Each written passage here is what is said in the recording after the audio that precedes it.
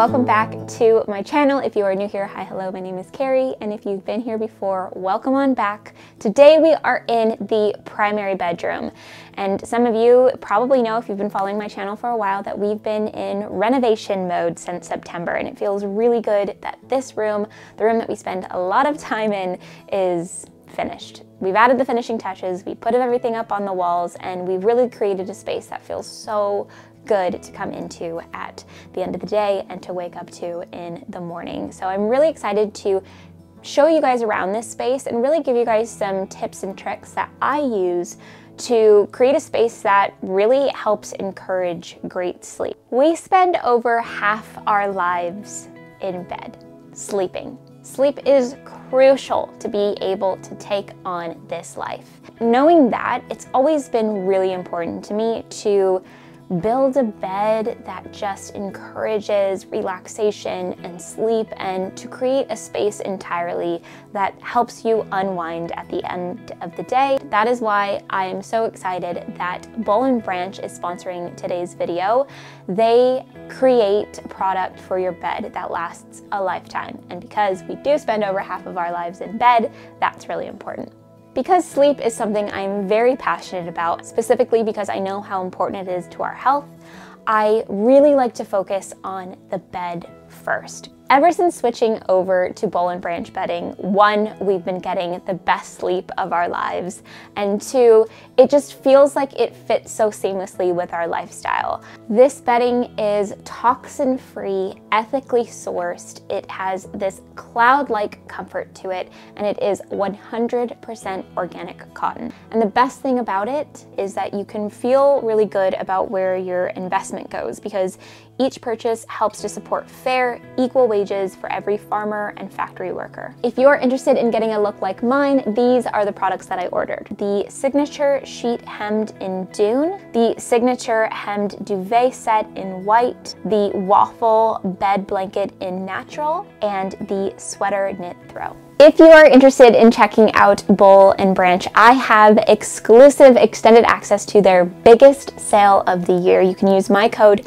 CARRIE20 to get 20% off of your order and there's no minimum order amount. Just a little side note, they're only shipping to the US and Canada. So that's our bedding. Let's show you the rest of the room.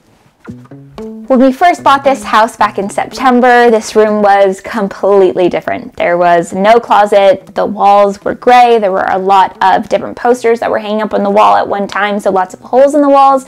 So of course we first went in and did a full paint job and um, went in and made sure we plastered everything and we sanded these wood floors. These are native timber floors. They're colored matte The most important thing that I like to think about is one, like I talked about, cozying up the space, but also how it flows because we use the space in the evening when we're getting ready for bed. We use it in the morning when we're getting ready for the day. So I like to think about how flow happens. So we ended up building our own closet here. What we really liked about this room and why we decided to make it the primary room was because it had originally a larger closet here that they had removed and in these farmhouse homes, it's hard to find closet space. We do have closets in all the other rooms, but they're all very small. So we thought, okay, cool, this will be the primary bedroom and we will get a closet. So we actually bought this kit you see behind me and we actually really like that there's sort of a capsule situation. So this side is Alex's, that side's mine.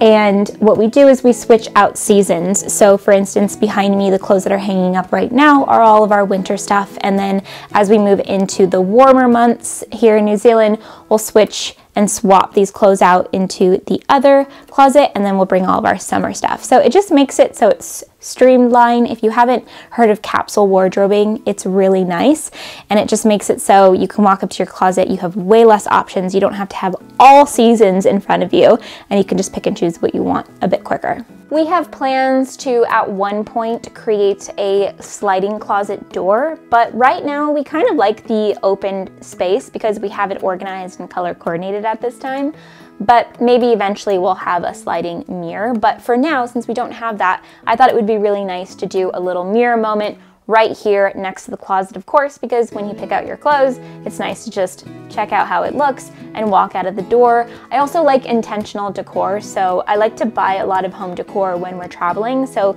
for instance, this piece is from the Cook Islands and it reminds me of that trip every day that I see it. So I like grabbing pieces when I'm traveling a lot of the time. If I can fit it back in my luggage, I like pieces that remind me of an experience that we had. Talking about the flow of a space, especially when you're getting ready in the morning, I love having the jewelry out for me to see when I get dressed, if I want to switch anything up. I've had these jewelry holders for years. I had them when we lived in Los Angeles. I brought them over, just recently put them up, and it's really nice when you're getting ready to just throw something on right by your clothes. So I thought this was a good space for it here. I also have our ironing board and iron right here so that if I want to grab something to wear, I can just pull that out right here in this space, iron right here, and put it back.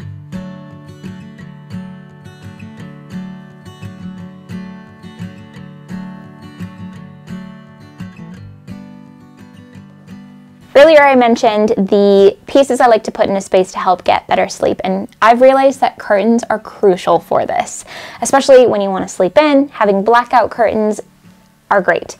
Also, these are thermal, they are noise canceling, all things that help me personally get better sleep. The noise cancellation here in the country, it's not really loud here, but if you're in the city, something to consider. I also really love this brass holder here that I have on both sides. I went with brass because a lot of the hardware that, almost all of the hardware that we have here in the bedroom is brass, so this just kind of kept with that kind of story around the space. This is my favorite little corner of the bedroom, not just because it's my corner, but I do have, you know, the tools that we need to help unwind just at the end of the night, and I'll get into that right now. But first off, I want to talk about these nightstands because I really love the rattan look. I just looked up rattan nightstands online. I love that they're they just feel light and airy and they don't take up a lot of space. I also really love having little things on top of my side of the nightstand like a pink Himalayan salt crystal that one helps clean the air when it's on and two it helps encourage relaxation with the light. Um, so in the evening I try not to turn on any of like the pendant lights and I just turn on the pink Himalayan salt lamp because you walk in and it just feels really warm and inviting and a low light situation helps encourage us to unwind at the end of the night. Also, the diffuser. When you have the pink Himalayan salt crystal on in the evening and you're diffusing lavender essential oil, the, vibe in here is immaculate. It is so good. And I also really love having an indoor plant right next to the nightstand and right next to where I'm sleeping at night because indoor plants help purify the air. I love this little bamboo holder that I put on both of our nightstands so they match with my little book inside for evening, which means if I'm reading, I'm gonna need a bedside lamp. This is probably the coolest thing to me that we put in this bedroom or maybe anywhere in the house so far. It just feels very intentional. It feels very luxurious to me and that's the title of this video. So this just feels luxury to me. And it's pretty simple to do. If you have an electrician coming in or anything like that, just adding these does wonders because there's no wire. It feels like you're at a hotel. You just click on and off. And the cool thing is this switch right below it controls the main pendant light too. So if I want to turn off that main light in the evening from bed when I'm reading, I can do that super simply. And then we have USB uh, chargers below as well as just normal chargers, which I don't really like having my phone in the bedroom. I never have before. It's more of a recent thing because we have these USB chargers. We don't get Wi-Fi in the bedroom really, so it's okay. And I go into airplane mode. So that's my like way around it right now. But keeping the phone down below in airplane mode is a great way for me. But just having those little bits right by the bed. Just, yeah, it's just, it feels really nice. I really love this rustic mirror. I've gotten a couple questions about it, but I've had it for a long time and I don't remember from where. I've had it since California.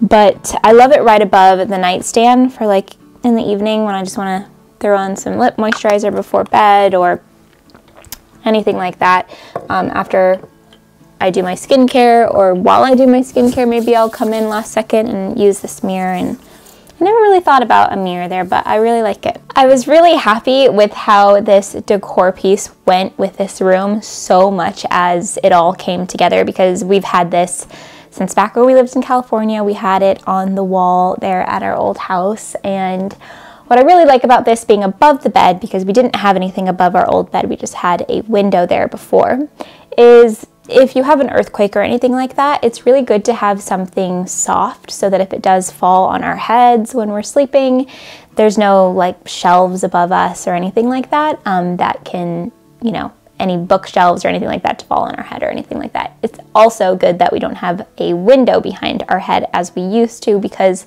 even earthquakes, when you have a window behind your head, the glass can break. So just thinking about safety wise, the way that we positioned the room, that was definitely something that we considered. This is Alex's side of the bed. Not much happening over here. I'm in control of the vibe, so I've got like the lights and the essential oils and stuff like that. He's just got his book. These photographs of our wedding were the finishing touches on this wall. There was nothing happening over here and I made a TikTok about this recently. I just said, if you have gotten married recently and you paid good money for your photos, put them in frames. And that was for me as well because it took me far too long to frame these beautiful photos. For the bedroom, I wanted more kind of artsy photos instead of just, you know, some of us standing there with our faces because I don't know, we're here a lot. We don't need to wake up every morning to like our faces. I just wanted something like flowy and artsy. So these are three of some of my favorite photos from our wedding and I just kept it with a white frame because everything's like so light and airy in here. So that's uh, that was like the finishing touch of this room and it just reminds us that we're in love so that if we ever go to bed at night and we're angry at each other, we can just roll over look at the photos of how much we love each other and then say, I love you, I'm sorry. I have a thing for things that are cozy. So I really liked putting down this big old rug here to just warm up the space primarily. And then I decided to add this rug here and throw it over to just add more texture and warmth and just that cozy feeling. It's the same kind of vibe with the bed. Like when you're layering different textures, it just feels like there's layers of coziness. And that's how it feels with the rug at the end of the bed too. Thank you all so much for watching this video. I hope that it gave you some tips and tricks for your own bedroom and how to decorate it, and I hope that it gave you some ideas on how to get better sleep at night as well. Thank you all so much for watching, and thank you to Boll & Branch for sponsoring today's video. I'll see you all in the next one. Bye!